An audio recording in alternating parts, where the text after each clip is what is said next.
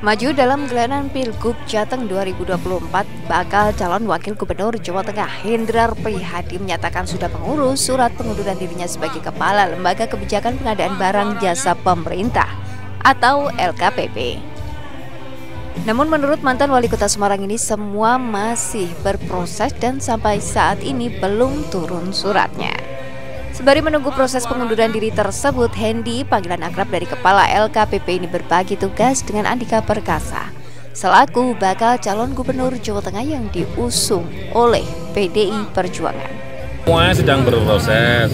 Uh, saya juga sudah menyampaikan pimpinan, tapi kan semuanya perlu waktu satu. Yang kedua juga pimpinan belum memberikan lampu hijau sampai sekarang ya kita tunggu aja.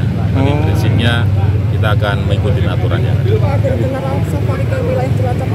Ada, dalamnya jenengan ya? Oh bukan.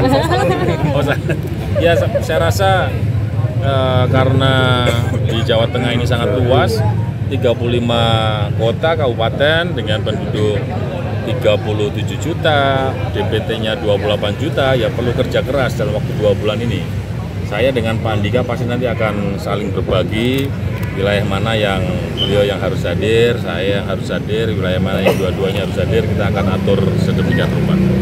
Seperti diketahui, pasangan Andika Perkasa Hendrar Prihadi yang diusung oleh PD Perjuangan ini nantinya berhadapan dengan Ahmad Lutfi Taj Yasin yang diusung oleh Kim Plus di gelaran Pilgub Jateng 2024.